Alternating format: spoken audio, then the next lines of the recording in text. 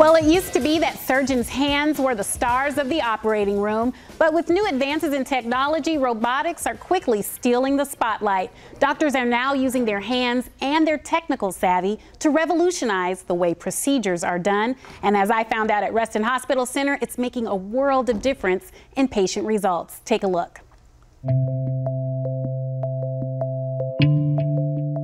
Know firsthand about the Mako technology. Tell me about it. I've been using the Mako technology for positioning partial knee replacements for several years.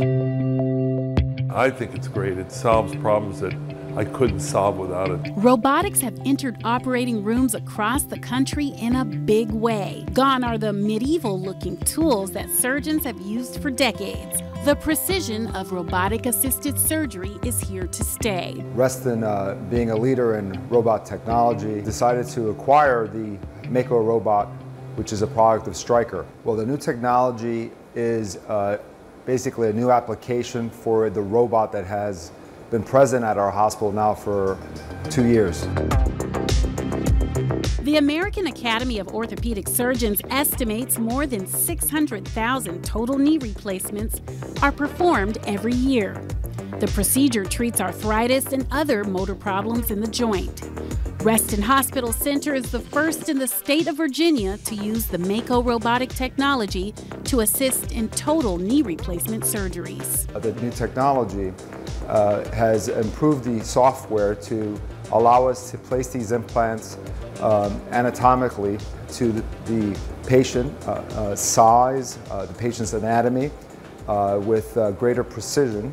This is uh, um, an exciting time for Reston Hospital, allowing us to really give patients the latest technology in placement of our implants the thing that's coolest about this, and I orthopedic surgeon Dr. Thomas Fleeter has performed thousands of knee replacement surgeries during his career, and he says improved overall accuracy is what makes the difference. In positioning a knee replacement, the position of the components that as they attach to the end of the thigh bone and the top of the shin bone is quite critical. If you miss by even a little, a few degrees one way or the other, it can make a huge uh, difference in terms of the longevity of the component and the functioning of the patient. And a precise placement means a shorter recovery time, a knee that lasts. And I tell my patients I'm sorry they're sleeping through it because the technology that we use for doing this is so whiz bang cool. Really? Really, without any instruments other than the fact that we have a computer and the computer has measured where the knee is based on a previous CAT scan or three-dimensional view, we now know how to put these things in. It's pretty cool. I mean, it's amazing how, how well and how reproducible it works. Dr. Bradley Boyd explains how it's all possible. Now, before we're doing a classic technique with hand cutting blocks, and now we're using the robotic arm to do our cuts and precision measurements, and we're getting feedback that wasn't possible before we were using that technology. And uh, we are talking about robotic arms. This is the, the arm.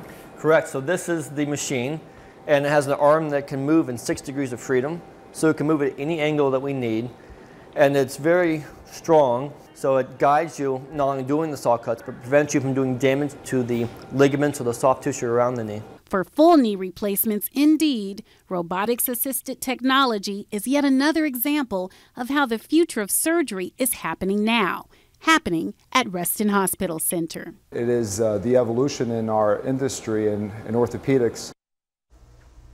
And to learn more about the Mako technology and other robotic assisted procedures at Reston Hospital, visit www.restonhospital.com. And stay with us because up